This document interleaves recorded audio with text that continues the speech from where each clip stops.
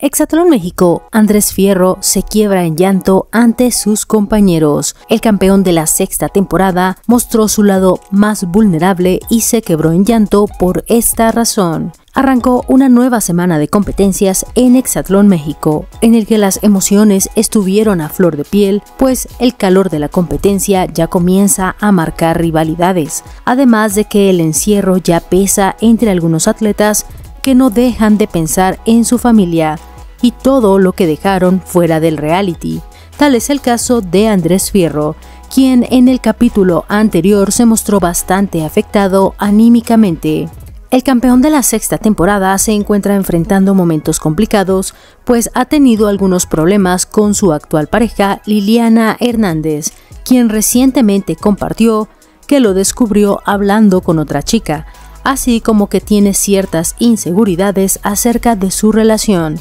por lo que actualmente no se encuentran del todo bien y se ha notado en su convivencia. Sin embargo, ese no fue el motivo del llanto de Velociraptor, pues después de escuchar hablar a uno de sus compañeros acerca de su padre, le movió sus emociones, pues no ha dejado de pensar en su progenitor que hace algunos meses falleció y que no pudo disfrutar tanto como lo hubiera querido, así que no pudo evitar quebrarse al reflexionar la falta que le hace. Recordemos que uno de los retos más grandes de Exatlón México es tener que estar lejos de la familia y los seres queridos, un tema que conoce a la perfección Ernesto, quien quedó impactado por las palabras de Andrés Fierro, pues rompió en llanto con sus compañeros. Todo ocurrió tras finalizar el duelo de eliminación donde Andrés decidió abrir su corazón por lo que compartió el dolor que siente por el fallecimiento de su papá. En medio del dolor, Andrés recordó las palabras de su padre,